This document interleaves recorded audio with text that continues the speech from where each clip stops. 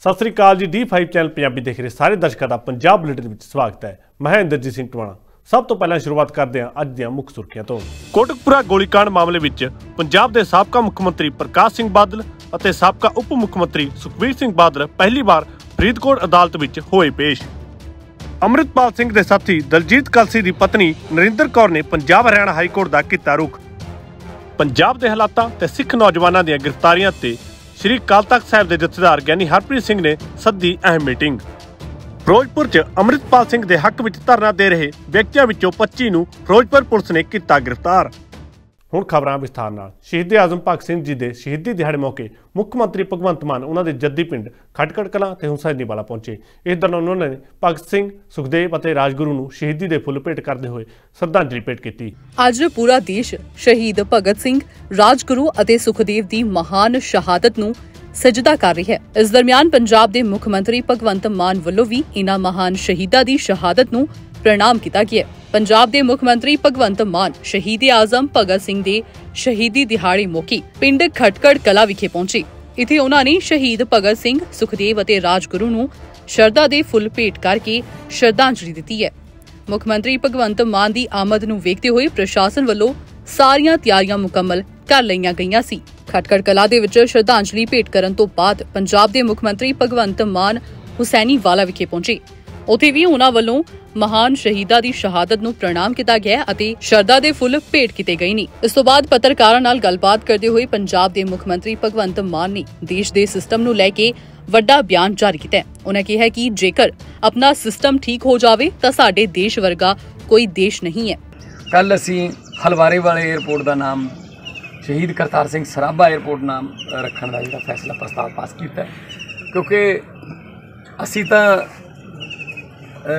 ਆਉਣੇ ਜਾਣੇ ਆ। ਸਰਕਾਰਾਂ ਆਉਣੀਆਂ ਜਾਣੀਆਂ ਨੇ, ਲੀਡਰ ਆਉਣੇ ਜਾਣੇ ਨੇ। ਪਰ ਸ਼ਹੀਦ ਸ਼ਹੀਦ ਜਿਹੜੇ ਨੇ ਉਹ ਹਮੇਸ਼ਾ ਅਮਰ ਨੇ। ਆਮ ਤੌਰ ਤੇ ਦੇਖਿਆ ਜਾਂਦਾ ਰਾਜਨੀਤਿਕ ਲੋਕਾਂ ਦੇ ਨਾਂ ਤੇ, ਯੂਨੀਵਰਸਿਟੀਆਂ ਦੇ ਨਾਮ, ਕਾਲਜਾਂ ਦੇ ਨਾਮ ਜਾਂ ਹੋਰ ਸੰਸਥਾਵਾਂ ਦੇ ਨਾਮ ਰੱਖ ਦਿੰਦੇ ਆ। ਮੈਨੂੰ ਲੱਗਦਾ ਜਿਨ੍ਹਾਂ ਨੇ ਦੇਸ਼ ਲੈ ਕੇ ਦਿੱਤਾ ਸੀ ਸਾਨੂੰ ਸਾਨੂੰ ਉਹਨਾਂ ਦੇ ਨਾਵਾਂ ਤੇ ਰੱਖਣਾ ਚਾਹੀਦਾ ਤੇ ਨਾਲ ਨਾਲ ਫਿਰੋਜ਼ਪੁਰ ਨੂੰ ਇੱਕ ਟੂਰਿਜ਼ਮ ਸਿਟੀ ਦੇ ਤੌਰ ਤੇ ਡਿਵੈਲਪ ਕਰਾਂਗੇ ਜਿਵੇਂ ਅਸੀਂ ਖਟਕੜ ਕਲਾਂ ਜਾਂ ਫਿਰ ਸ੍ਰੀ ਅੰਮ੍ਰਿਤਸਰ ਸਾਹਿਬ ਹੈ। ਉੱਥੇ ਜਲਿਆਂਵਾਲਾ ਬਾਗ ਹੈ ਉੱਥੇ ਵਾਰ ਮਿਊਜ਼ੀਅਮ ਹੈ। ਉਸ ਇਸ ਤਰ੍ਹਾਂ ਦੀਆਂ ਕੋਈ ਇਤਿਹਾਸਕ ਚੀਜ਼ਾਂ ਜਿਹੜੀਆਂ ਇੱਥੇ ਵੀ ਆ ਕੇ ਰੱਖੀਏ ਤੋ ਤਾਂ ਕਿ ਲੋਕ ਜਿਹੜੇ ਨੇ ਉਹ ਫਿਰੋਜ਼ਪੁਰ ਆਉਣ ਫਿਰੋਜ਼ਪੁਰ ਆ ਕੇ ਦੇਖਣ ਸ਼ਹੀਦਾਂ ਦੀਆਂ ਯਾਦਗਾਰਾਂ ਇੱਥੇ ਪਈਆਂ ਹੋਣ। ਟ੍ਰੇਨ ਦਾ ਜਿਹੜਾ ਉਹ ਚੱਲਦਾ ਹੈ ਉਹ ਵੀ ਇੱਕ ਇਤਿਹਾਸਿਕ ਚੀਜ਼ ਹੈ, ਉਹਨੂੰ ਹੋਰ ਅਪਡੇਟ ਕਰੀਏ ਅੱਜ ਅੱਜ ਅੱਜ ਦੇ ਜ਼ਮਾਨੇ ਮੁਤਾਬਕ। ਜਿਨ੍ਹਾਂ ਅੰਗਰੇਜ਼ਾਂ ਨੂੰ ਕੱਢਣ ਲਈ ਸ਼ਹੀਦ ਆਜ਼ਮ ਹੋਰਾਂ ਨੇ ਫਾਂਸੀ ਦੇ ਰਸੇ ਚੁੰਮੇ ਹਜ਼ਾਰਾਂ ਗਦਰੀ ਬਾਬਿਆਂ ਵਰਗੇ ਯੋਧਿਆਂ ਨੇ ਆਪਣੀਆਂ ਜਵਾਨੀਆਂ ਆਪਣੇ ਕਾਰੋਬਾਰ, ਦੇਸ਼ ਦੇ ਲੇਖੇ ਲਾਏ ਤੇ ਅੱਜ ਅਸੀਂ ਉਹਨਾਂ ਕੋਲ ਹੀ ਜਾਣ ਲਈ ਤਰਸ ਰਹੇ ਹਾਂ। ਤੋ ਇਹਦਾ ਮਤਲਬ ਸਾਡੇ ਸਿਸਟਮ 'ਚ ਕੋਈ ਨਾ ਕੋਈ ਕਮੀ ਹੈ, ਤਾਂ ਅਸੀਂ ਉਹਨੂੰ ਜੇ ਠੀਕ ਕਰ ਲਈਏ, ਤਾਂ ਇਸ ਦੇਸ਼ ਵਰਗਾ ਦੇਸ਼ ਕੋਈ ਹੈ ਨਹੀਂ। ਇੱਥੇ ਵੀ ਦੱਸਣਾ ਬਣਦਾ ਹੈ ਕਿ ਬੀਤੇ ਕੱਲ ਪੰਜਾਬ ਵਿਧਾਨ ਸਭਾ ਦੇ ਬਜਟ ਇਜਲਾਸ ਦੌਰਾਨ ਮੁੱਖ ਮੰਤਰੀ ਮਾਨ ਨੇ ਸ਼ਹੀਦ ਭਗਤ ਸਿੰਘ ਦੇ ਜੱਦੀ ਪਿੰਡ ਵਿਖੇ ਵਿਰਾਸਤੀ ਗਲੀ ਬਣਾਉਣ ਦਾ ਵੀ ਐਲਾਨ ਕੀਤਾ ਸੀ, ਜਿਸ ਦਾ ਮੁੱਖ ਮਕਸਦ ਇਹ ਹੈ ਕਿ ਦੇਸ਼ ਦੇ ਆਜ਼ਾਦੀ ਦੇ ਸੰਘਰਸ਼ ਵਿੱਚ ਪੰਜਾਬ ਅਤੇ ਪੰਜਾਬੀਆਂ ਦੇ ਵਡਮੁੱਲੇ ਯੋਗਦਾਨ ਨੂੰ ਦਰਸਾਇਆ ਜਾ ਸਕੇ। ਅਮਰਤਪਾਲ ਸਿੰਘ ਨੂੰ ਗ੍ਰਿਫਤਾਰ ਕਰਨ ਲਈ ਪੁਲਿਸ ਵੱਲੋਂ ਉਸਦੇ ਸਾਥੀਆਂ ਤੇ ਸ਼ਿਕੰਜਾ ਕੱਸਿਆ ਜਾ ਰਿਹਾ ਹੈ। ਪੁਲਿਸ ਵੱਲੋਂ ਅਮਰਤਪਾਲ ਸਿੰਘ ਦੇ ਇੱਕ ਹੋਰ ਸਾਥੀ ਨੂੰ ਗ੍ਰਿਫਤਾਰ ਕੀਤਾ ਗਿਆ ਹੈ। ਪੁਲਿਸ ਨੇ ਦੱਸਿਆ ਕਿ ਅਮਰਤਪਾਲ ਸਿੰਘ ਦੇ ਸਾਥੀ ਤੇਜਿੰਦਰ ਸਿੰਘ ਉਰਫ ਗੋਰਖਾ ਬਾਬਾ ਨੂੰ ਗ੍ਰਿਫਤਾਰ ਕੀਤਾ ਗਿਆ ਹੈ। ਖੰਨਾ ਪੁਲਿਸ ਦੇ ਹੱਥ ਇੱਕ ਵੱਡੀ ਸਫਲਤਾ ਲੱਗੀ ਹੈ। ਦਰਅਸਲ ਵਾਰਿਸ ਪੰਜਾਬ ਦੇ ਜਥੇਬੰਦੀ ਦੇ ਮੁਖੀ ਅੰਮ੍ਰਿਤਪਾਲ ਸਿੰਘ ਦੇ ਇੱਕ ਹੋਰ ਸਾਥੀ ਨੂੰ ਗ੍ਰਿਫਤਾਰ ਕਰ ਲਿਆ ਗਿਆ ਹਾਸਲ ਹੋਈ ਜਾਣਕਾਰੀ ਮੁਤਾਬਿਕ ਪੁਲਿਸ ਨੇ ਅੰਮ੍ਰਿਤਪਾਲ ਦੇ ਸਾਥੀ ਤੇਜਿੰਦਰ ਸਿੰਘ ਉਰਫ ਗੋਰਖਾ ਬਾਬਾ ਨੂੰ ਗ੍ਰਿਫਤਾਰ ਕੀਤਾ ਹੈ। ਗੋਰਖਾ ਬਾਬਾ ਖੰਨਾ ਦੇ ਥਾਣਾ ਮਲੌਂਦ ਦੇ ਪਿੰਡ ਮੰਗੇਵਾਲ ਦਾ ਰਹਿਣ ਵਾਲਾ ਹੈ। ਇੱਥੇ ਇਹ ਵੀ ਜਾਣਕਾਰੀ ਹਾਸਲ ਹੋਈ ਹੈ ਕਿ ਉਹ ਅਕਸਰ ਅੰਮ੍ਰਿਤਪਾਲ ਸਿੰਘ ਦੇ ਨਾਲ ਹੀ ਰਹਿੰਦਾ ਸੀ ਅਤੇ ਅਜਨਾਲਾ ਕਾਂਡ ਦੇ ਵਿੱਚ ਵੀ ਨਾਮਜ਼ਦ ਦੱਸਿਆ ਜਾ ਰਿਹਾ ਹੈ। ਡੀਐਸਪੀ ਪਾਇਲ ਹਰਸਿਮਰਤ ਸਿੰਘ ਨੇ ਦੱਸਿਆ ਕਿ ਤੇਜਿੰਦਰ ਸਿੰਘ ਕਾਫੀ ਲੰਮੇ ਸਮੇਂ ਤੋਂ ਅੰਮ੍ਰਿਤਪਾਲ ਦੇ ਨਾਲ ਉਸ ਦਾ ਗਨਮੈਨ ਬਣ ਕੇ ਰਹਿੰਦਾ ਸੀ ਅਤੇ ਸੋਸ਼ਲ ਮੀਡੀਆ ਤੇ ਵੀ ਕਾਫੀ ਐਕਟਿਵ ਰਹਿੰਦਾ ਸੀ। ਇੱਕ ਆਪਣੇ ਥਾਣਾ ਮਲੌਦ ਦੇ ਤਹਿਤ ਇੱਕ ਪਿੰਡ ਪੈਂਦਾ ਮੰਗੇਵਾਲ। ਉਧਰ ਦਾ ਇੱਕ ਵਿਅਕਤੀ ਹੈਗਾ ਤਜਿੰਦਰ ਸਿੰਘ ਗਿੱਲ, ਜੋ ਕਿ ਪਿਛਲੇ ਸਮੇਂ ਤੋਂ ਕਾਫੀ ਟਾਈਮ ਤੋਂ ਜਿਹੜਾ ਅੰਮ੍ਰਿਤਪਾਲ ਦੇ ਨਾਲ ਐਜ਼ ਸਿਕਿਉਰਿਟੀ ਡਿਊਟੀ ਚੱਲਦਾ ਹੁੰਦਾ ਸੀਗਾ, ਜੋ ਕਿ ਸੋਸ਼ਲ ਮੀਡੀਆ ਤੇ ਵੀ ਐਕਟਿਵ ਸੀਗਾ ਤੇ ਉਹਦੀ ਕਈ ਐਸੀ ਫੋਟੋਆਂ ਸੀਗੀ ਜਿਹਦੇ 'ਚ ਉਹਦੇ, ਉਹਨੇ ਹਥਿਆਰ ਫੜੇ ਹੋਏ ਸੀਗੇ। ਰਿਕਾਰਡ ਜਦ ਚੈੱਕ ਕੀਤਾ ਗਿਆ ਤਾਂ ਇਹਦੇ ਨਾਂ ਤੇ ਕੋਈ ਵੀ ਜਿਹੜਾ ਹੈਗਾ ਆਰਮਸ ਲਾਇਸੈਂਸ ਜਿਹੜਾ ਇਸ਼ੂਡ ਨਹੀਂ ਸੀਗਾ, ਜਿਸ ਦੇ ਬਾਵਜੂਦ ਵੀ ਜਿਹੜਾ ਸੋਸ਼ਲ ਮੀਡੀਆ ਤੇ ਇਹਦੀ ਵੀਡੀਓ ਸੀਗੀਆਂ, ਜਿਹਦੇ 'ਚ ਇਹਦੇ ਕੋਲ ਅਲੱਗ-ਅਲੱਗ ਤਰ੍ਹਾਂ ਦੇ ਵੈਪਨਸ ਇਹਨੇ ਫੜੇ ਹੋਏ ਸੀਗੇ। ਜੋ ਕਿ ਪੰਜਾਬ ਸਰਕਾਰ ਦੇ ਹੁਕਮਾਂ ਦੇ ਤਹਿਤ ਜਿਹੜਾ ਇਹਦੇ ਤੇ ਜਿਹੜੀ ਪਾਬੰਦੀ ਦੇ ਆਰਡਰ ਸੀਗੇ, ਉਹਦੇ ਤਹਿਤ ਜਿਹੜਾ ਇਹਦੇ ਖਿਲਾਫ ਜਿਹੜਾ 188 ਦਾ ਜਿਹੜੀ ਐਫ ਆਈ ਆਰ ਉਹ ਰਜਿਸਟਰ ਕੀਤੀ ਗਈ ਆ ਤੇ ਉਸ ਤੋਂ ਇਲਾਵਾ ਇਹਦੇ ਦੀ 751 ਵੀ ਕੀਤੀ ਗਈ ਆ। ਕਿਉਂਕਿ ਇਹ ਇਹ ਰਿਕਾਰਡ ਮੁਤਾਬਿਕ ਇਹ ਵੀ ਪਤਾ ਲੱਗਿਆ ਵੀ ਜਿਹੜਾ ਅਜਨਾਲਾ ਇਹ ਇਨਸੀਡੈਂਟ ਹੋਇਆ ਸੀ ਜਿਹਦੇ ਚ ਅੰਮ੍ਰਿਤਪਾਲ ਦੇ ਉੱਪਰ ਐਫ ਆਈ ਆਰ ਹੋਈ ਸੀ, ਇਹ ਉੱਥੇ ਵੀ ਨਾਲ ਉਹਦੇ ਗਿਆ ਸੀਗਾ ਤੇ ਉਹਦੇ ਚ ਵੀ ਇਨਵੋਲਵ ਸੀਗਾ। ਉਸ ਦੀ ਜਿਹੜੀ ਆ ਵੱਖਰੇ ਤੌਰ ਤੇ ਜਿਹੜੀ ਹੈ ਅਜਨਾਲਾ ਪੁਲਿਸ ਵੱਲੋਂ ਇਹਦੇ ਤੇ ਵੱਖਰੀ ਅਰੈਸਟ ਤੇ ਵੱਖਰੀ ਕਾਰਵਾਈ ਹੋਏਗੀ।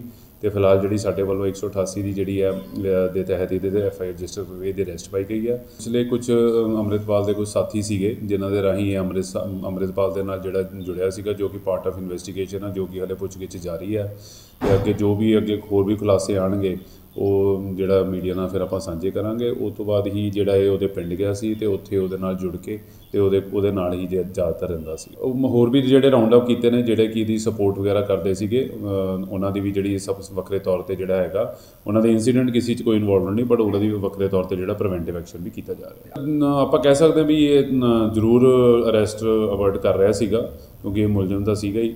ਤੇ ਫਿਰ ਵੀ ਜਿਹੜਾ ਹੈਗਾ ਸਾਡੀ ਟੀਮ ਨੇ ਸਾਰਾ ਇਨਫੋਰਮੇਸ਼ਨ ਬੇਸਡ ਕੰਮ ਕਰਕੇ ਇਹਨੂੰ ਅਰੈਸਟ ਜ਼ਿਕਰਯੋਗ ਹੈ ਕਿ ਅੰਮ੍ਰਿਤਪਾਲ ਅਜੇ ਤੱਕ ਪੁਲਿਸ ਦੀ ਹਿਰਾਸਤ ਵਿੱਚੋਂ ਬਾਹਰ ਹੈ, ਜਿਸ ਤੇ ਪੁਲਿਸ ਪ੍ਰਸ਼ਾਸਨ ਵੱਲੋਂ ਚੌਕਸੀ ਦੇ ਨਾਲ ਕਦਮ ਚੁੱਕੇ ਜਾ ਰਹੇ ਨੇ। ਹੁਣ ਵੇਖਣਾ ਹੋਵੇਗਾ ਕਿ ਪੁਲਿਸ ਅੰਮ੍ਰਿਤਪਾਲ ਨੂੰ ਕਦੋਂ ਤੱਕ ਗ੍ਰਿਫਤਾਰ ਕਰਨ ਦੇ ਵਿੱਚ ਕਾਮਯਾਬ ਹੁੰਦੀ ਹੈ। ਕੋਟਕਪੁਰਾ ਗੋਲੀਕਾਂਡ ਮਾਮਲੇ ਵਿੱਚ ਪੰਜਾਬ ਦੇ ਸਾਬਕਾ ਮੁੱਖ ਮੰਤਰੀ ਪ੍ਰਕਾਸ਼ ਸਿੰਘ ਬਾਦਲ ਤੇ ਸਾਬਕਾ ਉਪ ਮੁੱਖ ਮੰਤਰੀ ਸੁਖਬੀਰ ਸਿੰਘ ਬਾਦਲ ਅੱਜ ਪਹਿਲੀ ਵਾਰ ਫਰੀਦਕੋਟ ਦੀ ਅਦਾਲਤ ਵਿੱਚ ਪੇਸ਼ ਹੋਏ। ਤੁਹਾਨੂੰ ਦੱਸ ਦਈਏ ਕਿ ਉਹਨਾਂ ਨੂੰ ਪਹਿਲਾਂ ਇਹ ਗਾਉਂ ਜ਼ਮਾਨਤ ਮਿਲ ਚੁੱਕੀ ਹੈ। ਉਹਨਾਂ ਨੇ ਜ਼ਮਾਨਤ ਬੌਂਡ ਭਰੇ, ਜਿਸ ਤੋਂ ਬਾਅਦ ਉਹਨਾਂ ਨੇ ਪੰਜਾਬ ਸਰਕਾਰ ਤੇ ਨਿਸ਼ਾਨੇ ਸਾਧੇ। ਸੁਖਬੀਰ ਸਿੰਘ ਬਾਦਲ ਨੇ ਕਿਹਾ ਕਿ ਬੇਈਮਾਨ ਸਰਕਾਰ ਨੇ ਸਾਡੇ ਤੇ ਝੂਠੇ ਇਲਜ਼ਾਮ ਲਗਾਏ ਨੇ। ਇਸ ਦੌਰਾਨ ਬਿਕਰਮ ਮਜੀਠੀਆ ਨੇ ਸਿੱਟ ਦੇ ਅਫਸਰਾਂ ਤੇ ਸਵਾਲ ਚੁੱਕੇ ਨੇ। 2015 ਕੋਟਕਪੁਰਾ ਗੋਲੀਕਾਂਡ ਮਾਮਲੇ ਦੇ ਵਿੱਚ ਏਡੀਜੀਪੀ ਐਲਕੇ ਯਾਦਵ ਦੀ ਅਗਵਾਈ ਵਾਲੀ ਸਿੱਟ ਵੱਲੋਂ ਨਾਮਜ਼ਦ ਕੀਤੇ ਜਾਣ ਤੋਂ ਬਾਅਦ ਬਾਦਲ ਪਿਓ ਪੁੱਤ ਅੱਜ ਪਹਿਲੀ ਵਾਰ ਫਰੀਦਕੋਟ ਅਦਾਲਤ ਦੇ ਵਿੱਚ ਪੇਸ਼ ਹੋਈ ਨੇ। ਦੋਵਾਂ ਨੂੰ ਇਸ ਮਾਮਲੇ ਦੇ ਵਿੱਚ ਅਗਾਊਂ ਜ਼ਮਾਨਤ ਮਿਲੀ ਹੋਈ ਹੈ। ਇਸ ਲਈ ਉਹ ਜ਼ਮਾਨਤੀ ਬੌਂਡ ਭਰ ਕੇ ਬਾਹਰ ਆਏ। ਇਸ ਦੌਰਾਨ ਬਾਦਲਾਂ ਦੀ ਅਦਾਲਤ ਦੇ ਵਿੱਚ ਪੇਸ਼ੀ ਮੌਕੇ ਅਕਾਲੀ ਦਲ ਦੇ ਸਮਰਥਕਾਂ ਦਾ ਵੱਡਾ ਇਕੱਠ ਵੇਖਣ ਨੂੰ ਮਿਲਿਆ ਨਾਲ ਹੀ ਇਸ ਨੂੰ ਅਕਾਲੀ ਦਲ ਦਾ ਸ਼ਕਤੀ ਪ੍ਰਦਰਸ਼ਨ ਵੀ ਦੱਸਿਆ ਜਾ ਰਿਹਾ ਹੈ। ਪੇਸ਼ੀ ਭੁਗਤਾਉਣ ਤੋਂ ਬਾਅਦ ਸੁਖਬੀਰ ਸਿੰਘ ਬਾਦਲ ਨੇ ਪੱਤਰਕਾਰਾਂ ਨਾਲ ਗੱਲਬਾਤ ਕਰਦੇ ਹੋਏ ਆਪ ਦੀ ਸਰਕਾਰ ਤੇ ਨਿਸ਼ਾਨੇ ਸਾਧੇ ਹੈ ਅਤੇ ਕਿਹਾ ਕਿ ਭਗਵੰਤ ਦੀ ਬੇਈਮਾਨ ਸਰਕਾਰ ਨੇ ਪ੍ਰਕਾਸ਼ ਸਿੰਘ ਬਾਦਲ ਅਤੇ ਮੇਰੇ ਤੇ ਝੂਠਾ ਕੇਸ ਪਾਇਆ ਭਗਵੰਤ ਬੇਈਮਾਨ ਦੀ ਸਰਕਾਰ ਨੇ ਬਿਲਕੁਲ ਝੂਠਾ ਫੈਬਰੀਕੇਟਡ ਕੇਸ ਸਾਹ ਪ੍ਰਕਾਸ਼ ਸਿੰਘ ਜੀ ਬਾਦਲ ਤੇ ਮੇਰੇ ਤੇ ਕੀਤਾ ਸਾਨੂੰ ਪੂਰਾ ਭਰੋਸਾ ਹੈ ਜੁਡੀਸ਼ਰੀ ਤੇ। ਕੈਪਟਨ ਅਮਰਿੰਦਰ ਸਿੰਘ ਨੇ ਵੀ ਝੂਠਾ ਕੇਸ ਪਾਇਆ ਸੀ ਤੇ ਜੁਡੀਸ਼ਰੀ ਇਨਸਾਫ ਦਿੱਤਾ। ਹੁਣ ਐਕਤੀ ਇਹਨਾਂ ਨੇ ਪਾਇਆ ਆ ਇਹਨਾਂ ਦੀ ਕੋ ਸੋਚਦੇ ਹੈ ਕਿ ਸ਼੍ਰੋਮਣੀ ਅਕਾਲੀ ਦਲ ਦੀ ਲੀਡਰਸ਼ਿਪ ਤੇ ਦੇ ਵਰਕਰਾਂ ਦੇ ਝੂਠੇ ਕੇਸ ਪਾ ਕੇ ਉਹ ਡਰਾ ਸਕਦੇ ਹੈ ਮੈਂ ਉਹਨੂੰ ਦੱਸਣਾ ਚਾਹੁੰਦਾ, ਸ਼ਹੀਦਾਂ ਦੀ ਜਥੇਬੰਦੀ ਸ਼੍ਰੋਮਣੀ ਅਕਾਲੀ ਦਲ ਹੈ। ਇਹਨਾਂ ਕੇਸਾਂ ਦਾ ਸਾਨੂੰ ਕੋਈ ਫ਼ਰਕ ਨਹੀਂ ਪੈਂਦਾ, ਸਾਨੂੰ ਪੂਰਾ ਵਿਸ਼ਵਾਸ ਜੁਡੀਸ਼ਰੀ ਤੇ ਹੈ। ਉੱਥੇ ਹੀ ਪੇਸ਼ੀ ਮੌਕੇ ਫਰੀਦਕੋਟ ਅਦਾਲਤ ਦੇ ਵਿੱਚ ਪਹੁੰਚੇ। ਸ਼੍ਰੋਮਣੀ ਅਕਾਲੀ ਦਲ ਦੇ ਸੀਨੀਅਰ ਲੀਡਰ ਬਿਕਰਮ ਸਿੰਘ ਮਜੀਠੀਆ ਨੇ ਜਿੱਥੇ ਪੰਜਾਬ ਸਰਕਾਰ ਨੂੰ ਆੜੇ ਹੱਥੀ ਲਿਆ, ਉਥੇ ਹੀ ਉਹਨਾਂ ਨੇ ਸਿੱਟ ਦੇ ਅਫਸਰਾਂ ਤੇ ਵੀ ਕਈ ਸਾਰੇ ਇਲਜ਼ਾਮ ਲਗਾਏ ਨੇ। 96 ਸਾਲ ਦੀ ਉਮਰ। ਅੱਜ ਉਹਨਾਂ ਨੂੰ 307 ਦੇ ਕੇਸ 'ਚ ਅਕੰਪਲਿਸ ਬਣਾ ਤੁਸੀਂ ਸਮਝਦੇ ਹੋ ਜਾਇਜ਼?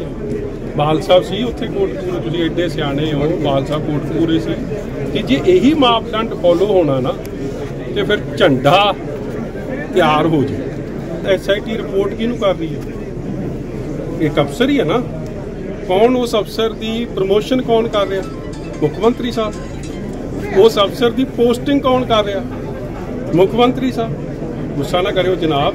ਆ ਜਿਹੜਾ ਡੰਡਾ ਆਪਾਂ ਫੜੀ ਫਿਰਦੇ ਆ ਨਾ, ਜੇ ਉਹਨਾਂ ਨੇ ਕਹਿਤਾ ਮਜੀਠੀਏ ਨੂੰ ਸਵੇਰੇ ਸਵਾਲ ਨਹੀਂ ਕਰਨਾ, ਤਾਂ ਤੁਸੀਂ ਵੀ ਨਹੀਂ ਕਰਨਾ। ਉਹ ਹਾਲ ਉਹਦਾ ਉਹਦਾ ਜਿਹੜਾ ਜਿਹਨੇ ਐਸਆਈਟੀ ਦੇ ਰਿਕਾਰਡ ਪੇਸ਼ ਕੀਤੇ। ਇਸ ਲਈ ਇਹ ਜਦੋਂ ਮੁੱਖ ਮੰਤਰੀ ਦਾ ਬਿਆਨ ਆ ਗਿਆ, ਕੁਲਤਾਰ ਸਿੰਘ ਸੰਧਮਾ ਦਾ ਆ ਗਿਆ, ਵਜ਼ੀਰਾਂ ਦਾ ਆ ਗਏ ਕਿ ਅਸੀਂ ਜੀ ਬੜੀ ਛੇਤੀ ਨੌ ਦੇ ਦੇਣੇ ਉਹਨਾਂ ਨੇ ਨੌ ਦਿੱਤਾ। But that is not the end all of everything ਫੈਸਲਾ ਤਾਂ ਕੋਰਟ ਨੇ ਕਰਨਾ, ਕਿੰਨੀ ਵਾਰੀ ਚਲਾਨ, ਇਹ ਕੋਈ ਪਹਿਲੀ ਗੱਲ ਹੈ ਦੱਸਣਯੋਗ ਹੈ ਕਿ ਪੰਜਾਬ ਦੇ ਸਾਬਕਾ ਮੁੱਖ ਮੰਤਰੀ ਪ੍ਰਕਾਸ਼ ਸਿੰਘ ਬਾਦਲ ਅਤੇ ਸਾਬਕਾ ਉਪ ਮੁੱਖ ਮੰਤਰੀ ਸੁਖਬੀਰ ਸਿੰਘ ਬਾਦਲ ਖਿਲਾਫ ਕੋਟਕਪੁਰਾ ਗੋਲੀकांड ਦੀ ਕਥਿਤ ਸਾਜ਼ਿਸ਼ ਰਚਨ ਦਾ ਦੋਸ਼ ਹੈ। ਜਾਂਚ ਟੀਮ ਨੇ 24 ਫਰਵਰੀ ਨੂੰ ਅਦਾਲਤ ਦੇ ਵਿੱਚ ਬਾਦਲਾਂ ਸਣੀ 6 ਵਿਅਕਤੀਆਂ ਖਿਲਾਫ ਚਲਾਨ ਪੇਸ਼ ਕੀਤਾ ਸੀ। ਅਦਾਲਤ ਨੇ ਪ੍ਰਕਾਸ਼ ਬਾਦਲ ਅਤੇ ਸੁਖਬੀਰ ਬਾਦਲ ਨੂੰ ਵੀਰਵਾਰ 23 ਮਾਰਚ, ਯਾਨੀ ਅੱਜ ਅਦਾਲਤ ਦੇ ਵਿੱਚ ਪੇਸ਼ ਹੋਣ ਵਾਸਤੇ ਸਮਨ ਭੇਜੇ ਸੀ, ਜਿਸ ਸਦਕਾ ਹੀ ਅੱਜ ਬਾਦਲ ਪਿਓ ਫਰੀਦਕੋਟ ਦੀ ਅਦਾਲਤ ਦੇ ਵਿੱਚ ਪੇਸ਼ੀ ਭੁਗਤਾਉਣ ਪਹੁੰਚੀ। ਪੰਜਾਬ ਦੇ ਮੌਜੂਦਾ ਹਾਲਾਤਾਂ ਤੇ ਸ੍ਰੀ ਅਕਾਲ ਤਖਤ ਸਾਹਿਬ ਦੇ ਜਥੇਦਾਰ ਗਿਆਨੀ ਹਰਪ੍ਰੀਤ ਸਿੰਘ ਨੇ ਚਿੰਤਾ ਜਤਾਈ ਹੈ, ਜਿਸ ਦੇ ਚੱਲਦੇ ਉਹਨਾਂ ਵੱਲੋਂ ਸਿੱਖ ਸੰਸਥਾਵਾਂ ਤੇ ਸੰਪਰਦਾਵਾਂ ਦੀ 27 ਮਾਰਚ ਨੂੰ ਮੀਟਿੰਗ ਬੁਲਾਈ ਗਈ ਹੈ, ਜਿਸ ਦੀ ਜਾਣਕਾਰੀ ਸਕੱਤਰੇਤ ਵੱਲੋਂ ਇੱਕ ਪੋਸਟਰ ਸਾਂਝਾ ਕਰਕੇ ਦਿੱਤੀ ਗਈ ਹੈ। ਪੰਜਾਬ ਦੇ ਮੌਜੂਦਾ ਹਾਲਾਤਾਂ ਅਤੇ ਸਿੱਖ ਨੌਜਵਾਨਾਂ ਦੀਆਂ ਗ੍ਰਿਫਤਾਰੀਆਂ ਦੇ ਮਾਮਲਿਆਂ ਨੂੰ ਵਿਚਾਰਨ ਦੇ ਲਈ ਸ੍ਰੀ ਅਕਾਲ ਤਖਤ ਸਾਹਿਬ ਦੇ ਜਥੇਦਾਰ ਗਿਆਨੀ ਹਰਪ੍ਰੀਤ ਸਿੰਘ ਵੱਲੋਂ ਸਿੱਖ ਸੰਸਥਾਵਾਂ, ਸੰਪਰਦਾਵਾਂ ਅਤੇ ਜਥੇਬੰਦੀਆਂ ਦੇ ਨੁਮਾਇੰਦਿਆਂ ਦੀ ਅਹਿਮ ਮੀਟਿੰਗ 27 ਮਾਰਚ ਨੂੰ ਸੱਦੀ ਗਈ ਹੈ। ਸ੍ਰੀ ਅਕਾਲ ਤਖਤ ਸਾਹਿਬ ਦੇ ਸਕੱਤਰੇਤ ਵੱਲੋਂ ਇਸ ਸੰਬੰਧੀ ਇੱਕ ਪੋਸਟਰ ਵੀ ਸੋਸ਼ਲ ਮੀਡੀਆ ਤੇ ਜਾਰੀ ਕੀਤਾ ਗਿਆ ਹੈ। ਇਸ ਪੋਸਟਰ ਦੇ ਵਿੱਚ ਦੱਸਿਆ ਗਿਆ ਹੈ ਕਿ ਇਹ ਸਾਂਝੀ ਵਿਸ਼ੇਸ਼ ਇਕੱਤਰਤਾ 27 ਮਾਰਚ ਨੂੰ ਦੁਪਹਿਰ 12 ਵਜੇ ਅੰਮ੍ਰਿਤਸਰ ਦੇ ਵਿੱਚ ਹੋਵੇਗੀ। ਜਥੇਦਾਰ ਗਿਆਨੀ ਹਰਪ੍ਰੀਤ ਸਿੰਘ ਦੇ ਨਿੱਜੀ ਸਕੱਤਰ ਜਸਪਾਲ ਸਿੰਘ ਨੇ ਇਸ ਇਕੱਤਰਤਾ ਬਾਰੇ ਪੁਸ਼ਟੀ ਕੀਤੀ ਹੈ। ਇਸ ਵਿਸ਼ੇਸ਼ ਇਕੱਤਰਤਾ ਦੇ ਏਜੰਡੇ ਵਿੱਚ ਪੰਜਾਬ ਦੇ ਮੌਜੂਦਾ ਹਾਲਾਤ, ਸਿੱਖਾਂ ਦੇ ਮਨਾਂ ਵਿੱਚ ਲੰਮੇ ਸਮੇਂ ਤੋਂ ਬਣੇ ਬੇਚੈਨੀ ਵਾਲੇ ਮਾਹੌਲ ਅਤੇ ਸਿੱਖ ਨੌਜਵਾਨਾਂ ਦੀਆਂ ਨਾਜਾਇਜ਼ ਗ੍ਰਿਫਤਾਰੀਆਂ ਬਾਰੇ ਵਿਚਾਰ ਵਟਾਂਦਰਾ ਕਰਨਾ ਸ਼ਾਮਲ ਹੈ। ਇਸ ਮਾਮਲੇ ਦੇ ਵਿੱਚ ਜਦੋਂ ਐਸਜੀਪੀਸੀ ਮੈਂਬਰ ਗੁਰਬਖਸ਼ ਸਿੰਘ ਖਾਲਸਾ ਨਾਲ ਗੱਲਬਾਤ ਕੀਤੀ ਗਈ ਤਾਂ ਉਹਨਾਂ ਨੇ ਕੀ ਜਾਣਕਾਰੀ ਸਾਂਝੀ ਕੀਤੀ ਹੈ? ਆਓ ਜਾਣਦੇ ਹਾਂ।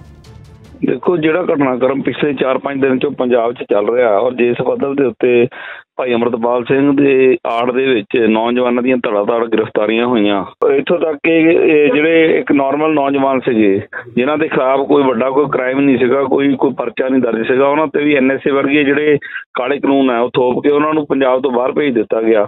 ਜੀ। ਤੇ ਇਹਨਾਂ ਸਾਰਿਆਂ ਹਾਲਾਤਾਂ ਦੇ ਵਿੱਚ ਜਿਹੜੀ ਅੱਜ ਕੌਮ ਹੈ ਉਹ ਹਮੇਸ਼ਾ ਹੀ ਉਹਦੀ ਜਦੋਂ ਇਹੋ ਜਿਹੀ ਕੋਈ ਭੀੜ ਬਣਦੀ ਹੈ ਉਹਦੀ ਟੇਕ ਜਿਹੜੀ ਸ੍ਰੀ ਅਕਾਲ ਤਖਤ ਸਾਹਿਬ ਤੇ ਹੁੰਦੀ ਆ।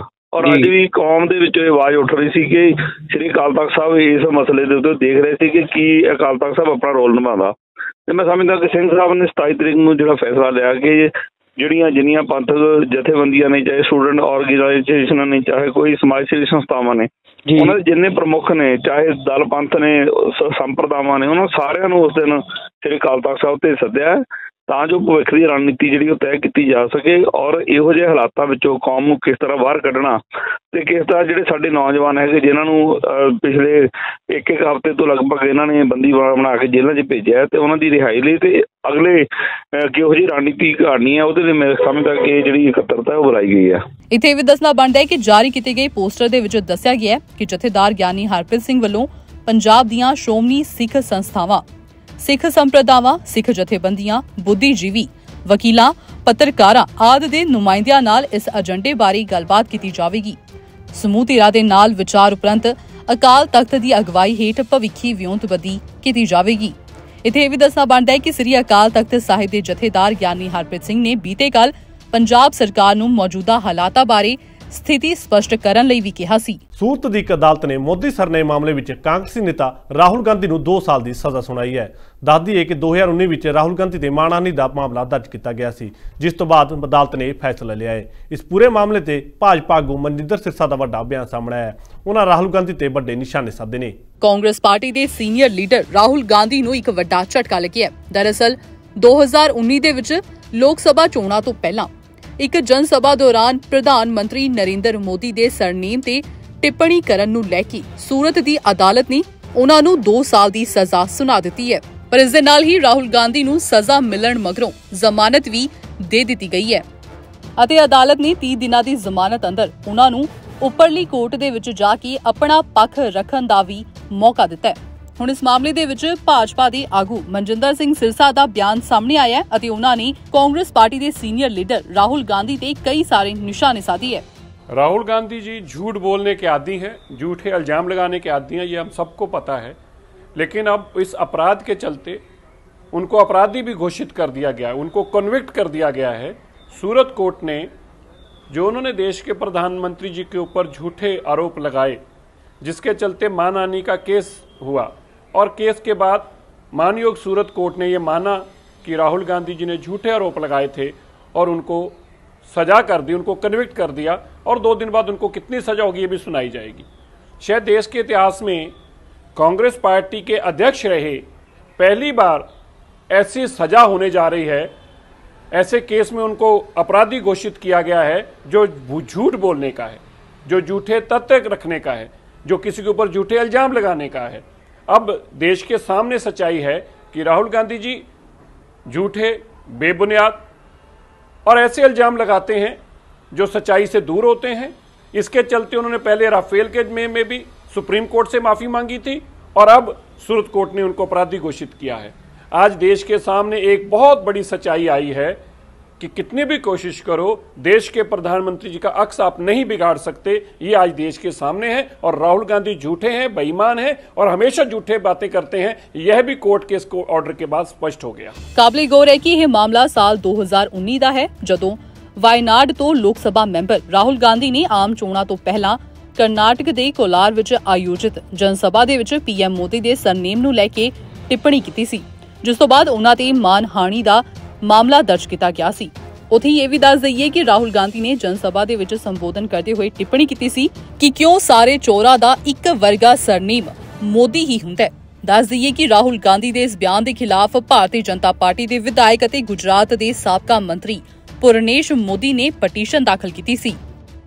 ਵੇਲਾ ਹੋ ਗਿਆ ਇੱਕ ਛੋਟੇ ਜਿਹੇ ਬ੍ਰੇਕ ਦਾ। ਮਿਲਦੇ ਹਾਂ ਬ੍ਰੇਕ ਤੋਂ ਬਾਅਦ। ਸਤਿ ਸ਼੍ਰੀ ਅਕਾਲ ਜੀ ਮੈਂ ਹਾਂ ਕੁਲਰਾਜ ਰੰਦਾਵਾ ਤੇ ਤੁਸੀਂ ਵੇਖ ਰਹੇ ਹੋ D5 ਚੈਨਲ ਪੰਜਾਬੀ ਜਿਹੜਾ ਲਾਂਚ ਹੋ ਚੁੱਕਾ ਹੈ ਹੁਣ ਕੈਨੇਡਾ ਵਿੱਚ। D5 ਚੈਨਲ ਪੰਜਾਬੀ ਹੁਣੇ ਸਬਸਕ੍ਰਾਈਬ ਕਰੋ ਬੈਲ ਆਈਕਨ ਤੇ ਕਲਿੱਕ ਕਰੋ। ਬ੍ਰੇਕ ਤੋਂ ਬਾਅਦ ਸਾਰਿਆਂ ਦਾ ਇੱਕ ਵਾਰ ਫਿਰ ਸਵਾਗਤ ਹੈ। ਬਾਦਿਆਂ ਅਗਲੀ ਖਬਰ ਵੱਲ। ਅਮਰਪਾਲ ਸਿੰਘ ਦੇ ਸਾਥੀਆਂ ਖਿਲਾਫ ਥਾਣਾ ਖਲਚੀਆਂ ਵਿੱਚ 19 ਮਾਰਚ ਨੂੰ ਐਫ ਆਈ ਆਰ ਦਰਜ ਕੀਤੀ ਗਈ ਸੀ, ਜਿਸ ਦੇ ਚੱਲਦੇ ਅਮਰਪਾਲ ਦਾ ਸਾਥ ਦੇਣ ਵਾਲੇ ਉਸ ਦੇ ਭਰਾ ਹਰਪ੍ਰੀਤ ਸਿੰਘ ਸਣੇ 11 ਸਮਰਥਕਾਂ ਨੂੰ ਅਦਾਲਤ ਵਿੱਚ ਪੇਸ਼ ਕੀਤਾ ਗਿਆ। ਅੱਜ ਬਾਬਾ ਬਕਾਲਾ ਸਾਹਿਬ ਦੀ ਅਦਾਲਤ ਦੇ ਵਿੱਚ ਅੰਮ੍ਰਿਤਪਾਲ ਸਿੰਘ ਦੇ ਭਰਾ ਹਰਪ੍ਰੀਤ ਸਿੰਘ ਸਣੀ 11 ਸਾਥੀਆਂ ਨੂੰ ਪੇਸ਼ ਕੀਤਾ ਗਿਆ। ਅਦਾਲਤ ਨੇ ਮੁਕਦਮਾ ਨੰਬਰ 26 ਥਾਣਾ ਖਲਚੀਆ ਵਿੱਚ ਨਾਮਜ਼ਦ 11 ਮੁਲਜ਼ਮਾਂ ਨੂੰ 14 ਦਿਨਾਂ ਦੀ ਨਿਆਇਕ ਹਿਰਾਸਤ ਵਿੱਚ ਭੇਜਣ ਦਾ ਹੁਕਮ ਦੇ ਦਿੱਤਾ ਹੈ। ਇਸ ਦੇ ਨਾਲ ਹੀ ਅਜਨਾਲਾ ਪੁਲਿਸ ਵੱਲੋਂ ਉਹਨਾਂ ਦਾ ਟ੍ਰਾਂਜ਼ਿਟ ਰਿਮਾਂਡ ਹਾਸਲ ਕੀਤਾ ਗਿਆ। ਇਸ ਸੰਬੰਧੀ ਅੰਮ੍ਰਿਤਪਾਲ ਦੇ ਸਾਥੀਆਂ ਦੇ ਵਕੀਲ ਦਾ ਕੀ ਕਹਿਣਾ ਹੈ, ਆਓ ਤੁਸੀਂ ਵੀ ਸੁਣੋ। ਸਾਹਿਬ, ਅੱਜ ਅਸੀਂ ਖਲਚੀਆਂ ਥਾਣੇ ਦੀ ਜੋ ਅਮ- ਭਾਈ ਅਮਰਤਪਾਲ ਸਿੰਘ ਦੇ ਸਾਥੀਆਂ ਨੂੰ ਗ੍ਰਿਫਤਾਰ ਕੀਤਾ ਗਿਆ ਸੀ ਖਲਚੀਆਂ ਥਾਣੇ ਵੱਲੋਂ, ਉਸ ਵਿੱਚ ਅੱਜ ਉਹਨਾਂ ਨੂੰ ਪੇਸ਼ ਕੀਤਾ ਗਿਆ, ਜਿਨ੍ਹਾਂ ਵਿੱਚ ਅਸੀਂ ਕੁਝ ਦੋਸ਼ੀਆਂ ਵੱਲੋਂ ਪੇਸ਼ ਹੋਏ ਹਾਂ। ਤੇ 26 ਨੰਬਰ ਐਫ ਆਈ ਆਰ ਦੇ ਬਾਰੇ ਮੈਂ ਦੱਸਦਾ ਹਾਂ, ਉਸ ਦੇ ਵਿੱਚ ਜਿਹੜੇ ਜਿਹੜੇ ਸੈਕਸ਼ਨ ਸੀ, ਉਹ 26 ਨੰਬਰ ਐਫ ਆਈ ਆਰ ਦੇ ਵਿੱਚ 279 186 506 336 427 ਆਈਪੀਸੀ ਦੇ ਸੈਕਸ਼ਨ ਸੀ। ਉਹਨਾਂ ਦੇ ਨਾਲ 25 27 54 ਆਰਮਜ਼ ਐਕਟ ਦੇ ਸੈਕਸ਼ਨ ਵੀ ਐਡ ਕੀਤੇ ਗਏ ਨੇ ਤੇ ਇਸ ਕੇਸ ਦੇ ਵਿੱਚ ਜੋ ਖਲਚੀਆਂ ਥਾਣੇ ਦਾ ਹੈ, ਜੋ ਬਾਬਾ ਬਕਾਲਾ ਸਾਹਿਬ ਅਦਾਲਤ ਦੇ ਨਾਲ ਸੰਬੰਧਿਤ ਹੈ, ਉਸ ਵਿੱਚ ਕੋਰਟ ਸ਼੍ਰੀ ਵਿਕਰਮਦੀਪ ਸਿੰਘ ਜੱਜ ਸਾਹਿਬ ਦੇ ਪੇਸ਼ ਕੀਤਾ ਗਿਆ ਤੇ ਉਸ ਵਿੱਚ ਜੁਡੀਸ਼ੀਅਲ ਰਿਮਾਂਡ 14 ਦਿਨਾਂ ਦਾ ਕਰ ਦਿੱਤਾ ਗਿਆ ਹੈ। ਪਰ ਨਾਲ ਦੇ ਨਾਲ ਇਹ ਵੀ ਦੱਸਣਾ ਚਾਹਾਂਗਾ ਕਿ ਦੋ ਐਫ ਆਈ ਆਰ ਹੋਰ ਨੇ ਜੋ ਕਿ ਅਜਨਾਲੇ ਥਾਣੇ ਦੀਆਂ ਨੇ, ਉਹ 29 ਨੰਬਰ ਤੇ 39 ਨੰਬਰ ਜਿਨ੍ਹਾਂ ਦੇ ਵਿੱਚ 29 ਦੇ ਵਿੱਚ 307 ਸੈਕਸ਼ਨ ਵੀ ਲੱਗਾ ਹੋਇਆ ਹੈ ਤੇ 39 ਦੇ ਵਿੱਚ 365 ਸੈਕਸ਼ਨ ਵੀ ਲੱਗਾ ਹੋਇਆ ਹੈ। ਉਸ ਦੇ ਨਾਲ ਆਰਮਜ਼ ਐਕਟ ਵੀ ਲੱਗੇ ਹੋਏ ਨੇ। ਉਹਨਾਂ ਦੇ ਵਿੱਚ ਪੁਲਿਸ ਨੇ ਟ੍ਰਾਂਜ਼ਿਟ ਰਿਮਾਂਡ ਮੰਗਿਆ ਸੀ ਜਿਨ੍ਹਾਂ ਨੂੰ ਹੁਣ ਸਾਰੇ ਜਿਹੜੇ ਜਿਹੜੇ ਦੋਸ਼ੀਆਂ ਨੂੰ ਪੇਸ਼ ਕੀਤਾ ਗਿਆ ਸੀ ਉਹ ਸਾਰਿਆਂ ਨੂੰ ਮਤਲਬ ਕਿ ਅਜਨਾਲੇ ਪੇਸ਼ ਕੀਤਾ ਜਾਏਗਾ। ਅੱਜ 11 ਬੰਦਿਆਂ ਨੂੰ ਪੇਸ਼ ਕੀਤਾ ਗਿਆ 11 11 ਦੇਖੋ ਜੀ ਇਹ ਕਈ ਦੋਸ਼ੀ ਹੈਗੇ ਆ। ਹੁਣ ਜਿਹੜੇ ਵੀ ਇਹ ਹੋਣਗੇ ਉਹ ਸਾਰੇ ਇਹ ਪੁਲਿਸ ਵੀ ਕਿਹਦੇ ਨਾਲ ਕਿਹੜਾ ਕਿਹਦਾ ਰਿਲੇਸ਼ਨ ਕਿਹਦੇ ਨਾਲ ਹੈਗਾ ਜਾਂ ਨਹੀਂ ਹੈਗਾ ਇਹ ਇਨਕੁਆਇਰੀ ਅਫਸਰ ਹੀ ਦੱਸੇਗਾ। ਬਾਬਾ ਬਕਾਲਾ ਤੋਂ ਹੁਣ ਕਿੱਥੇ ਉਹਨਾਂ ਨੂੰ ਰੈਫਰ ਕੀਤਾ ਗਿਆ ਤੇ ਕਿੱਥੇ ਦੇਖੋ ਜੀ ਟ੍ਰਾਂਜ਼ਿਟ ਰਿਮਾਂਡ ਜਿਹੜਾ ਉ- 29 ਤੇ 39 ਦੇ ਵਿੱਚ ਮੰਗਿਆ ਸੀ ਉਹ ਅਜਨਾਲੇ ਦਾ ਮੰਗਿਆ ਸੀ ਉਹ ਅਜਨਾਲੇ ਲੈ ਕੇ ਜਾਣਗੇ। ਕਦੋਂ ਅਜਨਾਲੇ ਕਦੋਂ ਅੱਜ ਹੀ ਇਹਦੇ ਨਾਲੇ ਅੱਜ ਹੀ ਅੱਜ ਹੀ। ਹੋ ਸਕਦਾ ਜੇ ਕੋਈ ਉਹਨਾਂ ਦੀ ਪੁਲਿਸ ਦੀ ਕੋਈ ਪੁਲਿਸ ਕੋਈ ਹੋਰ ਫਾਰਮੈਲਿਟੀਜ਼ ਥਾਣੇ ਦੀਆਂ ਹੋਣ ਉਸ ਦੇ ਰਿਗਾਰਡਿੰਗ ਜੇ ਥਾਣੇ ਲੈ ਕੇ ਜਾਣ, ਪਰ ਜਦੋਂ ਟ੍ਰਾਂਜ਼ਿਟ ਰਿਮਾਂਡ ਲੈ ਲਿਆ ਤੇ ਮੇਰੇ ਹਿਸਾਬ ਨਾਲ ਸਿੱਧਾ ਅਜਨਾਲੇ ਲੈ ਕੇ ਜਾਣਗੇ ਪੁਲਿਸ ਦੀ ਜ਼ਿੰਮੇਵਾਰੀ। ਇਹ ਵੀ ਦੱਸਣਯੋਗ ਹੈ ਕਿ ਅੰਮ੍ਰਿਤਪਾਲ ਸਿੰਘ ਅਜੇ ਵੀ ਪੁਲਿਸ ਦੀ ਗ੍ਰਿਫ਼ਤ ਤੋਂ ਬਾਹਰ ਹੈ, ਜਿਸ ਤੇ ਪੁਲਿਸ ਪ੍ਰਸ਼ਾਸਨ ਵੱਲੋਂ ਚੌਕਸੀ ਨਾਲ ਕਦਮ ਚੁੱਕੇ ਜਾ ਰਹੇ ਨੇ। ਹੁਣ ਵੇਖਣਾ ਹੋਵੇਗਾ ਕਿ ਪੁਲਿਸ ਅੰਮ੍ਰਿਤਪਾਲ ਨੂੰ ਗ੍ਰਿਫਤਾਰ ਕਦੋਂ ਤੱਕ ਕਰਦੀ ਹੈ। ਅੰਮ੍ਰਿਤਪਾਲ ਸਿੰਘ ਨੂੰ ਗ੍ਰਿਫਤਾਰ ਕਰਨ ਲਈ ਪੁਲਿਸ ਵੱਲੋਂ ਲਗਾਤਾਰ ਉਸਦੇ ਸਾਥੀਆਂ ਨੂੰ ਗ੍ਰਿਫਤਾਰ ਕਰਕੇ ਪੁੱਛਗਿੱਛ ਕੀਤੀ ਜਾ ਰਹੀ ਹੈ ਜਿਸ ਦੇ ਚੱਲਦੇ ਅੰਮ੍ਰਿਤਪਾਲ ਸਿੰਘ ਦੇ ਕੁਝ ਸਾਥੀਆਂ ਨੂੰ ਅਸਾਮ ਦੇ ਡਿਬਰੂਗੜ੍ਹ ਜੇਲ੍ਹ ਵਿੱਚ ਵੀ ਭੇਜਿਆ ਗਿਆ ਹੈ, ਜਿਨ੍ਹਾਂ ਵਿੱਚ ਅੰਮ੍ਰਿਤਪਾਲ ਦੇ ਸਾਥੀ ਦਲਜੀਤ ਕਲਸੀ ਵੀ ਮੌਜੂਦ ਹਨ। ਪਰ ਹੁਣ ਇਸ ਮਾਮਲੇ ਵਿੱਚ ਨਵਾਂ ਮੋੜ ਆਇਆ ਹੈ, ਕਿਉਂਕਿ ਦਲਜੀਤ ਕਲਸੀ ਦੀ ਪਤਨੀ ਨਰਿੰਦਰ ਕੌਰ ਨੇ ਪੰਜਾਬ ਹਰਿਆਣਾ ਹਾਈ ਕੋਰਟ ਦਾ ਰੁਖ ਕੀਤਾ ਹੈ। ਵਾਰਿਸ ਪੰਜਾਬ ਦੇ ਜਥੇਬੰਦੀ ਅਤੇ ਉਸ ਦੇ ਮੁਖੀ ਅੰਮ੍ਰਿਤਪਾਲ ਸਿੰਘ ਖਿਲਾਫ ਸੁਰੱਖਿਆ ਏਜੰਸੀਆਂ ਦੇ ਐਕਸ਼ਨ ਮਗਰੋਂ ਫੜੇ ਗਏ ਵਿਅਕਤੀਆਂ ਦੇ ਪਰਿਵਾਰ ਹੁਣ ਅਦਾਲਤ ਦੀ ਸ਼ਰਣ ਵਿੱਚ ਜਾਣ ਲੱਗ ਗਈ ਨੇ। ਹਾਸਲ ਹੋਈ ਜਾਣਕਾਰੀ ਮੁਤਾਬਿਕ ਅੰਮ੍ਰਿਤਪਾਲ ਸਿੰਘ ਦੇ ਸਾਥੀ ਸਰਬਜੀਤ ਸਿੰਘ ਉਰਫ ਦਲਜੀਤ ਕਲਸੀ ਦੀ ਪਤਨੀ ਹੁਣ ਹਾਈ ਕੋਰਟ ਪਹੁੰਚ ਗਈ ਹੈ। ਦੱਸ ਦਈਏ ਕਿ ਦਲਜੀਤ ਕਲਸੀ ਨੂੰ ਐਨਐਸਏ ਦੀ ਧਾਰਾ ਤਹਿਤ ਅਸਾਮ ਦੀ ਦਿਬਰੂਗੜ੍ਹ ਜੇਲ੍ਹ ਵਿੱਚ ਭੇਜ ਦਿੱਤਾ ਗਿਆ ਹੁਣ ਦਲਜੀਤ ਕਲਸੀ ਦੀ ਪਤਨੀ ਨਰਿੰਦਰ ਕੌਰ ਨੇ ਪੰਜਾਬ ਹਰਿਆਣਾ ਹਾਈ ਕੋਰਟ ਦੇ ਵਿੱਚ ਅਰਜ਼ੀ ਦਾਖਲ ਕਰ ਦਿੱਤੀ ਹੈ ਅਤੇ ਮੰਗ ਕੀਤੀ ਹੈ ਕਿ ਉਸ ਦੇ ਪਤੀ ਨੂੰ ਅਸਾਮ ਦੇ ਵਿੱਚ ਗੈਰ ਕਾਨੂੰਨੀ ਹਿਰਾਸਤ ਵਿੱਚੋਂ ਛੁਡਵਾਇਆ ਜਾਵੇ।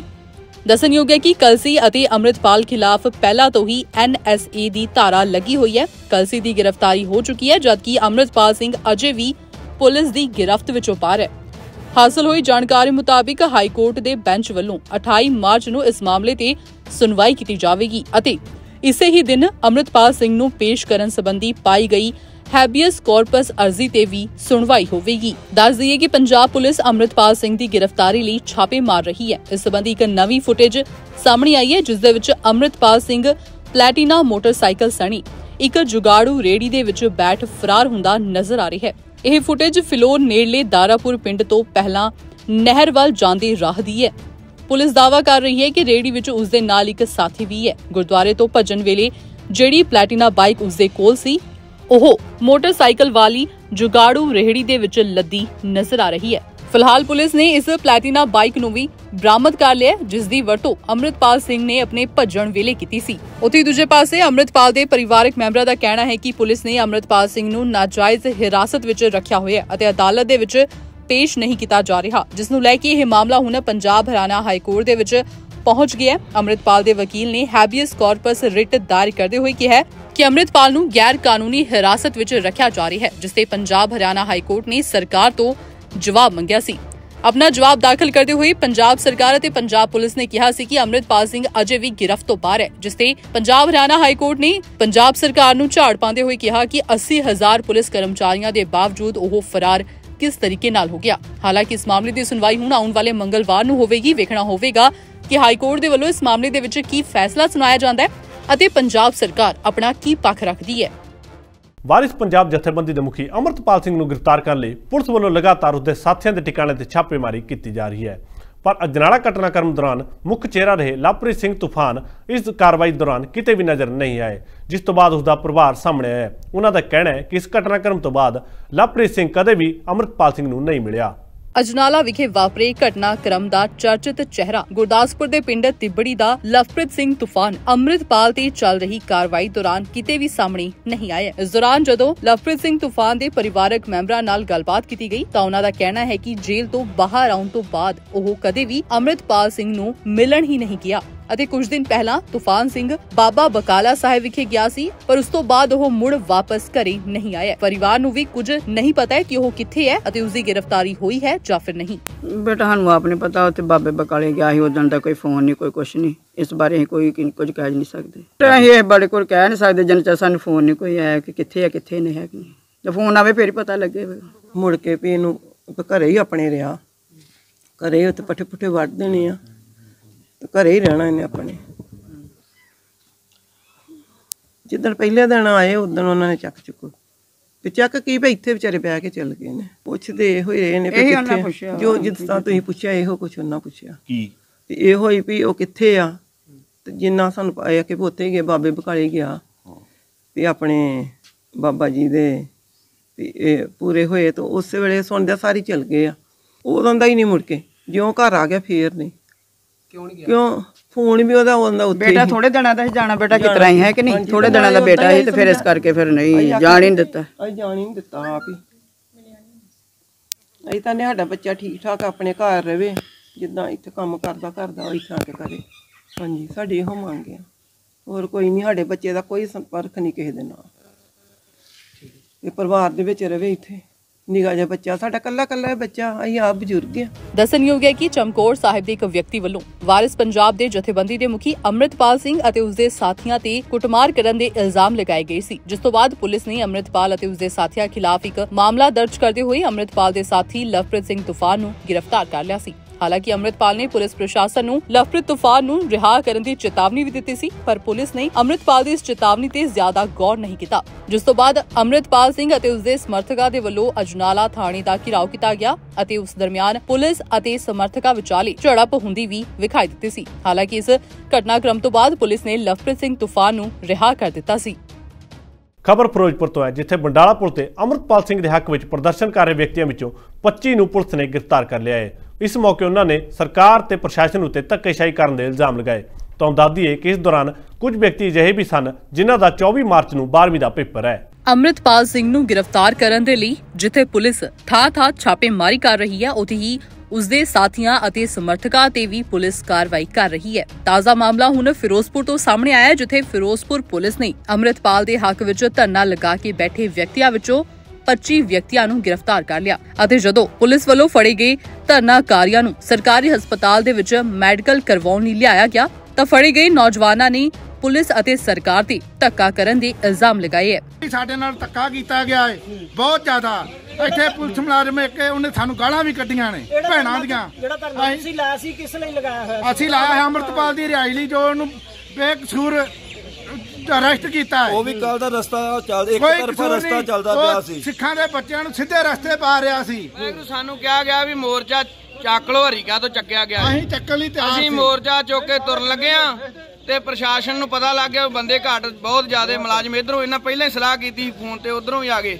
ਇਹਨਾਂ ਨੇ ਫਿਰ ਗੱਡੀਆਂ ਹੀ ਪਾਉਣੇ ਸ਼ੁਰੂ ਕਰ ਦਿੱਤੇ ਤੇ ਫਿਰ ਭੱਜਣਾ ਥੋੜੇ ਖਾਲਸੇ ਨੇ ਇਹ ਧੱਕਾ ਹੈ ਨਜਾਇਜ਼ ਹੈ। ਬਾਅਦ ਵਿੱਚ ਕਹਿਣਾ ਵੀ ਆਤੋ ਵਧੀਏ ਵੱਖ ਵਧੀਏ ਆ ਹੁਣ ਮਾੜਾ ਸੋਚਣਾ ਚਾਹੀਦਾ ਸਾਡਾ ਗੁਨਾਹ ਕੀ ਜਦੋਂ ਤੁਸੀਂ ਕਿਹਾ ਚੁੱਕ ਲਓ ਅਸੀਂ ਚੁੱਕ ਲਿਆ ਬੱਚਿਆਂ ਦੇ ਪੇਪਰ। ਨੇ 17 17 ਸਾਲ ਦੀ ਉਮਰ ਹੈ ਜਿਨ੍ਹਾਂ ਨੂੰ ਅਰੈਸਟ ਕੀਤਾ ਜਿਹੜੇ ਇਹ ਭਗਵੰਤ ਮਾਨ ਨੂੰ ਇਹ ਗੱਲ ਯਾਦ ਪਲੱਸ 2 ਦਾ ਪੇਪਰ ਪਰਸੋਂ ਆ ਉਤੀ ਦੂਜੇ ਪਾਸੇ ਕਿਸਾਨ ਮਜ਼ਦੂਰ ਮੋਰਚਾ ਪੰਜਾਬ ਦੇ ਸੂਬਾ ਪ੍ਰਧਾਨ ਮਲਕੀਤ ਸਿੰਘ ਨੇ ਵੀ ਪ੍ਰਸ਼ਾਸਨ ਅਤੇ ਪੁਲਿਸ ਤੇ ਸਵਾਲ ਖੜੇ ਕੀਤੇ ਹੈ ਜਿਹਨੇ ਪੰਜਾਬ ਦੇ ਨੌਜਵਾਨ ਚੁੱਕ ਕੇ ਨਜਾਇਜ਼ ਅਮਰਤਪਾਲ ਸਿੰਘ ਨੇ ਜੋ ਨਜਾਇਜ਼ ਇਹਨਾਂ ਪਰਚੇ ਪਾਏ ਆ, ਉਹਦੇ ਵਾਸਤੇ ਸ਼ਾਂਤੀ ਨਾਲ ਇੱਕ ਪਾਸੇ ਪ੍ਰੋਟੈਸਟ ਕਰਨ ਡਏ ਹਾਂ। ਇਹਨਾਂ ਨੇ ਸਾਡੇ ਕੋਲ ਡੀਐਸਪੀ ਗਿਆ, ਦੋ ਤਿੰਨ ਹੋਰ ਡੀਐਸਪੀ ਗਏ, ਦੋ ਤਿੰਨ ਤਰਨਤਾਰਨ ਤੋਂ ਡੀਐਸਪੀ ਗਏ, ਇਹ ਕਹਿੰਦੇ ਤਹਿਸੀਲਦਾਰ ਆਇਆ, ਗੱਲ ਕਰ ਲਓ। ਅਸੀਂ ਇਹ ਕਿਹਾ ਸੀ ਵੀ ਜੇ ਤੁਸੀਂ ਜੋ ਹਰੀਕੇ ਵਾਲੇ ਧਰਨੇ ਨਾਲ ਫੈਸਲਾ ਕਰੋਗੇ, ਅਸੀਂ ਵੀ ਉਹ ਕਰਾਂਗੇ। ਇਹ ਕਹਿੰਦੇ ਉਹ ਚੁਕਾਤਾ ਹੈ। ਅਸੀਂ ਇਹ ਕਿਹਾ ਥੋੜਾ ਜਿਹਾ ਸਾਨੂੰ 2 ਮਿੰਟ, ਦਿਓ ਟਾਈਮ ਅਸੀਂ 2 ਮਿੰਟ ਲਏ, ਅਸੀਂ ਇਹ ਕਿਹਾ ਵੀ ਅਸੀਂ ਸਸਪੈਂਡ ਕਰ ਦਿੰਦੇ ਹਾਂ ਮੋਰਚਾ। ਸਾਡੀ ਇਹਨਾਂ ਕਮੈਂਟਮੈਂਟ ਹੋ ਗਈ ਤਹਿਸੀਲਦਾਰ ਤੇ ਡੀਐਸਪੀ ਨਾਲ। ਜਦੋਂ ਕਮੈਂਟਮੈਂਟ ਇਹਨਾਂ ਕਰਕੇ ਸਾਡੇ ਬੰਦੇ ਜਾਣ ਕੇ ਗ੍ਰਿਫਤਾਰ ਕੀਤੇ ਆ। ਤੇ ਦੋ ਤਿੰਨ ਮੁੰਡੇ ਅਜੇ ਸਾਡੇ ਗਾਇਬ ਹੋਏ ਨੇ। ਉਹ ਹੁਣ ਇਹ ਪਤਾ ਨਹੀਂ ਐਸਪੀ ਨੇ ਕੀਤੇ ਗਾਇਬ ਜਾਂ ਕਿਸੇ ਡਿਪਟੀ ਨੇ ਕੀਤੇ ਆ। ਉਹ ਅਸੀਂ ਕੱਲ ਨੂੰ ਧਰਨਾ ਲਾਉਣ ਦੀ ਕੋਸ਼ਿਸ਼ ਕਰ ਰਹੇ ਆ। ਕਿਸਾਨ ਮਜ਼ਦੂਰ ਸੰਘਰਸ਼ ਕਮੇਟੀ ਔਰ ਕਿਸਾਨ ਮਜ਼ਦੂਰ ਮੋਰਚਾ, ਹੋਰ ਵੀ ਦੂਜੀਆਂ ਮੇਰੀ ਚੱਲਦੀ ਪਈ ਇਹ ਗੱਲ। ਸ- ਕਿਸਾਨ ਸੰਯੁਕਤ ਮੋਰਚੇ ਨਾਲ ਗੱਲ ਚੱਲਦੀ ਹੈ ਠੱਕੀਆਂ ਜਥੇਬੰਦੀਆਂ ਜੇ ਉਹ ਵੀ ਸਾਡੇ ਨਾਲ ਆ ਗਈਆਂ ਤੇ ਅਸੀਂ ਪੂਰੇ ਪੰਜਾਬ 'ਚ ਪ੍ਰੋਟੈਸਟ ਕਰਾਂਗੇ ਇਹਦੇ ਵਿਰੁੱਧ। ਇਹ ਤਿੰਨ ਬੱਚੇ ਨੇ ਜਿਨ੍ਹਾਂ ਦਾ ਪੇਪਰ ਪੈਣਾ 24 ਤਰੀਕ ਨੂੰ। ਉਹ ਬੱਚੇ ਛੱਡੇ ਜਾਣ। ਉਹ ਬੱਚੇ ਛੱਡੇ ਜਾਣ। ਇਹ ਸਰਕਾਰ ਜਾਣ ਬੁੱਝ ਕੇ ਸਾਡੀਆਂ ਜ਼ਮਾਨਤਾਂ 'ਚ ਬੱਚਿਆਂ ਨੂੰ ਲਿਆਉਂਦੀ ਏ। ਜਾਣ ਕੇ ਵੀ ਬੱਚੇ ਬਾਹਰ ਜਾ ਰਹੇ ਇਹਨਾਂ ਦੇ ਪੇਪਰ ਖਰਾਬ ਕੀਤੇ ਜਾਣ। ਕਿਸੇ ਦਾ ਪਾਸਪੋਰਟ ਨਾ ਬਣੇ ਕਿਸੇ ਦਾ ਕੁਝ ਨਾ। ਇਥੇ ਵੀ ਦੱਸਣਾ ਬਣਦਾ ਹੈ ਕਿ ਗ੍ਰਿਫਤਾਰ ਧਰਨਾਕਾਰੀਆਂ ਦੇ ਵਿੱਚੋਂ ਤਿੰਨ ਨੌਜਵਾਨ ਅਜਿਹੇ ਵੀ ਨੇ ਜਿਨ੍ਹਾਂ ਦਾ ਕੱਲ ਯਾਨੀ ਕਿ 24 ਮਾਰਚ ਨੂੰ 12ਵੀਂ ਜਮਾਤ ਦਾ ਪੇਪਰ ਵੀ ਹੈ। ਹੁਣ ਵੇਖਣਾ ਹੋਵੇਗਾ ਕਿ ਪੁਲਿਸ ਵੱਲੋਂ ਉਹਨਾਂ ਨੂੰ ਪੇਪਰ ਦੇਣ ਦੀ ਇਜਾਜ਼ਤ ਦਿੱਤੀ ਜਾਂਦੀ ਹੈ ਜਾਂ ਫਿਰ ਨਹੀਂ। ਜਾਂਦੇ ਆਂਦੇ ਇੱਕ ਵਾਰ ਫਿਰ ਨਜ਼ਰ ਮਾਰਦੇ ਹਾਂ ਅੱਜ ਦੀਆਂ ਮੁੱਖ ਸੁਰਖੀਆਂ ਤੇ। ਕੋਟਕਪੁਰਾ ਗੋਲੀकांड ਮਾਮਲੇ ਵਿੱਚ ਪੰਜਾਬ ਦੇ ਸਾਬਕਾ ਮੁੱਖ ਮੰਤਰੀ ਪ੍ਰਕਾਸ਼ ਸਿੰਘ ਬਾਦਲ ਅਤੇ ਸਾਬਕਾ ਉਪ ਮੁੱਖ ਮੰਤਰੀ ਸੁਖਬੀਰ ਸਿੰਘ ਬਾਦਲ ਪਹਿਲੀ ਵਾਰ ਫਰੀਦਕੋਟ ਅਦਾਲਤ ਵਿੱਚ ਹੋਏ ਪੇਸ਼। ਅੰਮ੍ਰਿਤਪਾਲ ਸਿੰਘ ਦੇ ਸਾਥੀ ਦਲਜੀਤ ਕਲਸੀ ਦੀ ਪਤਨੀ ਨਰਿੰਦਰ ਕੌਰ ਨੇ ਪੰਜਾਬ ਹਰਿਆਣਾ ਹਾਈ ਕੋਰਟ ਦਾ ਕੀਤਾ ਰੁਖ ਪੰਜਾਬ ਦੇ ਹਾਲਾਤਾਂ ਤੇ ਸਿੱਖ ਨੌਜਵਾਨਾਂ ਦੀਆਂ ਗ੍ਰਿਫਤਾਰੀਆਂ ਤੇ ਸ੍ਰੀ ਅਕਾਲ ਤਖਤ ਸਾਹਿਬ ਦੇ ਜਥੇਦਾਰ ਗਿਆਨੀ ਹਰਪ੍ਰੀਤ ਸਿੰਘ ਨੇ ਸੱਦੀ ਅਹਿਮ ਮੀਟਿੰਗ। ਫਿਰੋਜ਼ਪੁਰ 'ਚ ਅੰਮ੍ਰਿਤਪਾਲ ਸਿੰਘ ਦੇ ਹੱਕ ਵਿੱਚ ਧਰਨਾ ਦੇ ਰਹੇ ਵਿਅਕਤੀਆਂ ਵਿੱਚੋਂ 25 ਨੂੰ ਫਿਰੋਜ਼ਪੁਰ ਪੁਲਿਸ ਨੇ ਕੀਤਾ ਗ੍ਰਿਫਤਾਰ।